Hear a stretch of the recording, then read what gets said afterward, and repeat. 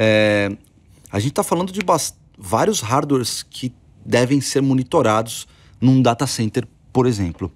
Como é que é feita essa conexão? Ou seja, como é que o DSIM consegue entender é, essa escalabilidade, porque ele tem que, obviamente, estar conectado. Como é que isso acontece? Ou é por sensor de IoT, uh, ou é por algum software, ou é pelo próprio software de BMS que vocês se conectam. Como é que isso funciona? Então, para e aí quando a gente fala dentro hoje da Schneider, né, como a gente trabalha, tá? É, a gente tá, tem um DSIM, a gente trata o DSIM como uma camada analítica. Tá. Então ele está numa camada de informação, como a gente fala de layer 3. Então eu tenho a layer 1, que eu falo ali embaixo, eu tenho os produtos conectados, e aí é bem IoT na veia. Então eu tenho máquinas de clima, eu tenho servidores, eu tenho os hardwares em campo, câmeras, enfim. Eu tenho toda a parte no layer 1. Então eles estão lá com os protocolos de comunicação para a gente conseguir comunicar. E aí você pode falar em automação, SNMP, Modbus, bem techniquez falando, os Sim. protocolos muito utilizados. E aí eu tenho o BMS, que é a camada de captação de dados. Então ele é como a gente chama de Edge Control, Layer 2. Eu estou aqui captando todos os dados em campo, através de CLPs, controladoras, eu estou pegando tudo que está acontecendo no meu campo. O DSIM, ele está como se fosse na camada 3. Por quê? Eu posso fazer tanto a integração com um BMS já existente. Pablo, eu não tenho um BMS. Aí, daí a gente tem outras ofertas que vão fazer o papel do BMS e vão comunicar com esses equipamentos em campo e vão trazer todos os dados.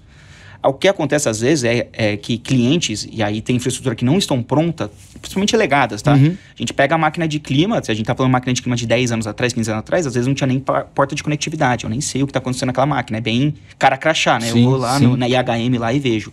E aí o que acontece? Eu consigo ter a camada analítica calculada. Eu não vou ter a camada analítica vendo no tempo real como está operando. Mas eu sei, por exemplo, que a tonelada de refrigeração de uma máquina é X, PTO é 10 R, enfim. E eu consigo trazer isso, modelar e falar, cara, eu estou tendo esse tipo de alimentação, então meu, meu data center está montado de um jeito. É, mas é mais ou menos assim que, que, que é montado. Boa. E, cara, quais são. É, tem, já percebi que tem alguns, mas quais são os principais desafios na implementação de, desse DSIM? E eu imagino que o primeiro grande desafio é primeiro fazer as pessoas conhecerem, né? Exatamente. Então, o primeiro, o primeiro desafio é o evangelizar. Sim. Na verdade, é as pessoas terem noção é, do que é a ferramenta em si, tá? Então, era ter noção de como podem aplicar e quais são os benefícios, entender mais ou menos para que, que ela foi desenhada, para que, que ela foi feita.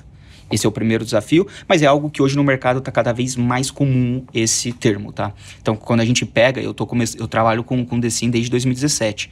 Então, quando eu falo desde 2017, era muito. Algumas pessoas conheciam, mas. Você falou poucas. que é mais antigo ainda do que isso. Né? É, e eu trabalhando junto sim, nisso. Mas o The Sims, se você for ver, é de 2002, 2005. Poxa, no início é, dos anos é 2000 já, já veio a primeira onda. Obviamente, com zero recurso Exato. comparado ao que tem hoje, até por integrações de sistemas, né? Antigamente não tinha muita API de integrações, como é hoje em dia. Mas isso evoluiu bastante. Então, esse é um grande desafio que existe, né? Primeiro, as pessoas conhecerem. Depois que conheceu, entendeu, aí sim eu falo que tem são duas vertentes. Primeiro, é escolher qual a melhor plataforma para você. Então, obviamente, você vai ter que olhar os players de mercado, vai ter que analisar os players que têm as ferramentas, entender qual ferramenta melhor agrega para você, tanto de tempo de implementação, é, suporte, qual é o meu suporte, o suporte é local, o suporte é remoto, como funciona, para você poder definir isso. E o terceiro é quem é o implementador. Quem vai fazer a implementação para mim? É um parceiro confiável? É um parceiro que tem experiência no ramo de implementações de sistemas, principalmente para ambientes críticos. Claro. E aí você começa a definir e aí poder escolher e falar, pô, sei quais são os passos para eu fazer uma implementação. E por último, não menos importante, é quando a gente fala dentro do, das organizações ainda, e obviamente isso está convergindo, o mundo de engenharia é muito apartado do mundo de TI. Ah, sim. Então, e, e, numa implementação como essa, eles vão ter que estar tá lado a lado. E aí, quando eu falo isso, é que a gente vai precisar ter um sponsor, um patrocinador lá dentro, e falar assim, cara, vocês vão ter que conversar, porque a gente vai fazer esse sistema rodar, porque eu, olhando minha organização como um todo, eu vou ter é, ganhos, né? Então, imagina, se eu sou um CFO, eu estou preocupado com os ganhos da empresa. Se eu sou um CTO, principalmente quando a gente fala de área de tecnologia, cara, ele vai ter metas para cumprir. Metas de sustentabilidade, igual você falou de pegada de carbono. Eu vou ter metas de eficiência operacional, eu tenho que reduzir meu custo. E eu, quando implemento uma, uma ferramenta dessa, eu consigo alcançar isso. Então, é algo que vai vir meio top-down para poder acontecer. Esse é um desafio que ainda existe. Mudando também, está migrando, mas ainda é, é um desafio que existe. Isso é interessante que você está falando, porque a partir de agora, quer dizer, e isso já acontecia com o BMS, pelo pouco que eu conheço BMS. Você tem uma, você pode criar uma série de KPIs dizendo a melhoria de performance daquilo, uhum. da disponibilidade daquele, daquele data center, por, a, por assim uhum. assim dizer, né? O BMS fazia a, a mesma coisa, ou seja, uhum. existia um booking, se eu não me engano, um book que as pessoas faziam para os gestores do prédio e grande parte dos, da, dos dados desse book eram feitos a partir da plataforma de BMS. E eu imagino, eu imagino que o Decim faz a mesma coisa, ou algo parecido. Se eu estiver uhum. enganado, você me corrige. Mas é, você falou um pouco um ponto importante sobre pegada de carbono. Uhum. Hoje muito se fala sobre até crédito de carbono, ou seja, uhum. aquelas empresas que têm até para vender carbono. Uhum. Existe um câmbio de carbono no mercado, inclusive. Uhum. É, como é que o Decim consegue ajudar nessa situação, nessa, nesse conceito de sustentabilidade? Uhum. É quando a gente olha por um Decim, obviamente, e a gente está olhando para um data center, a gente vai olhar muito pegada de carbono baseado no consumo daquele data center, né? Então, por exemplo, como está meu consumo elétrico daquele data center e quanto que eu estou consumindo muito, quando a gente fala de ar-condicionado, né? Os gases refrigerantes, o quanto que eu estou consumindo dentro do meu data center. E aí você vai, eu estou sendo eficiente, e aí por isso que a gente vai na área de pegada de carbono também. Por quê? A gente tem uma métrica em data center, e é muito utilizado em BMS quando está monitorando data center, que a gente chama de PUE.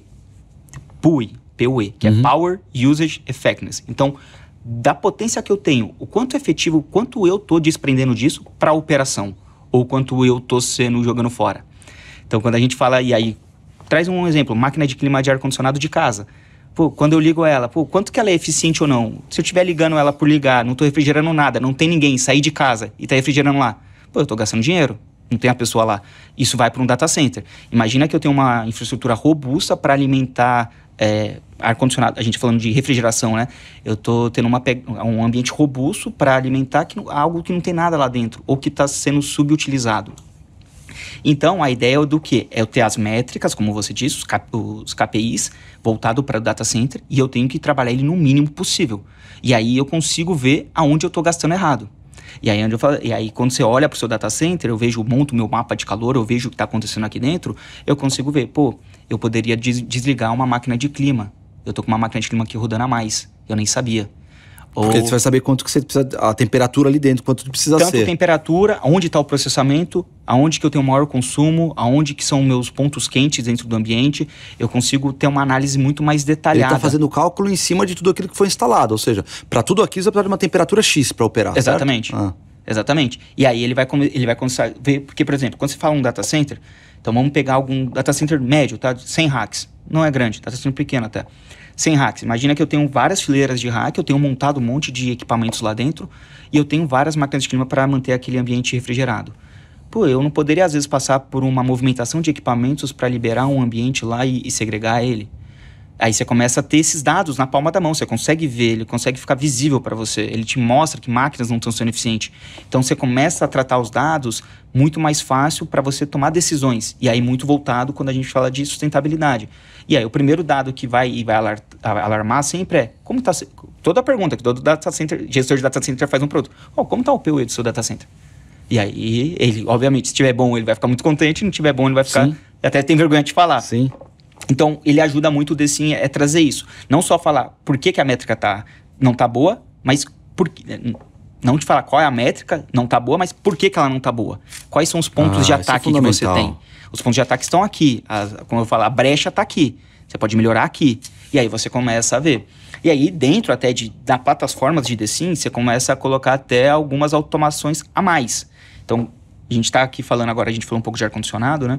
É, quando a gente fala de ar-condicionado, existem alguns softwares, por exemplo, de dar comando e controle em máquina de ar-condicionado. Então, por exemplo, pô, vamos fazer um revezamento. Eu vou deixar essa aqui ligada agora porque o processamento hoje do meu data center de dia é muito maior que à noite. Então, vamos dar. Vou trazendo exemplos, Sim, né? Sim, claro. Trazer uma, uma empresa que é do ramo alimentício. Pô, uma empresa do ramo alimentício tem o, o data center dele. Você está falando num local aqui, então, pô, na hora do almoço, na hora da janta, pode ter certeza que ali demanda muito mais processamento, eu tenho maior consumo. Mas se eu pegar meia-noite, uma da manhã, não tem um consumo nenhum praticamente, não tem um processamento. Banco também é a mesma coisa. No, dentro de um banco, você consegue ver que no horário comercial a potência é muito maior do que de noite. Óbvio, é muito diferente? Não, não é, porque hoje os bancos operam 24 horas. Mas você pega um exemplo um, um pouco antes, era assim. Então você começa a demandar o equipamento para trabalhar nos horários exatos para poder, como se fosse, suprir a necessidade. E nos horários que não são tão necessários, em vez de continuar trabalhando como a 100% o tempo inteiro, não, aqui eu posso relaxar, eu posso trabalhar 80%. E aí eu começo a ter eficiência.